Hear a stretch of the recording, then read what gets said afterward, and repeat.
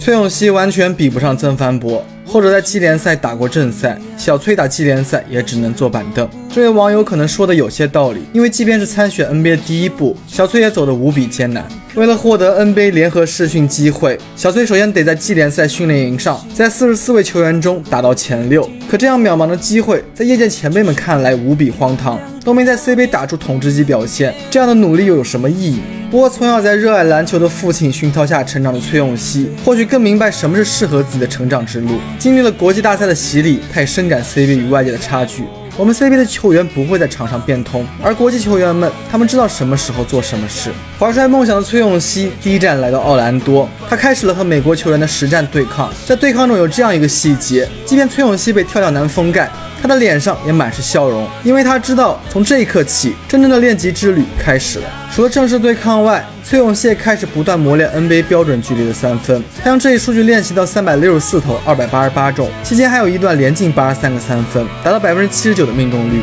十二号开始的季联赛训练营，小崔全场也没有多少球权，但他依旧竭力防守，拿下五分两抢断一盖帽，帮助球队赢得胜利。崔永熙深知自己能够进入 NBA 唯一的机会，不是超高的得分，而是做好一切脏活累活。这四年以来，我一直在看伦纳德的比赛，我最擅长的就是防守。赛后采访上，他也一直不遗余力地向美国记者推销着自己的优势。在 CBA，我可以防每个人，我防守外援，防守最好的球员，我不能让其他球员打败我，或者在我头上。得分和老一辈中国球员最大的不同，得益于 NBA 澳洲学院学习了两年时间，崔永熙和国外队员交流起来毫无问题，这让他能够更快适应美国生活。赛后，在球探看来。小崔也是表现较好，有机会进入 NBA 联合试训的前六位球员之一。而很多球迷或许没有注意，赛后崔永熙面对国外记者的宣言，则更能体现他磨砺自我的决心。当被问及未来留在这里还是打 CBA 时，崔永熙坚定表示：“如果有一次机会，我就会留在这里，因为在这儿我更能提升自己。”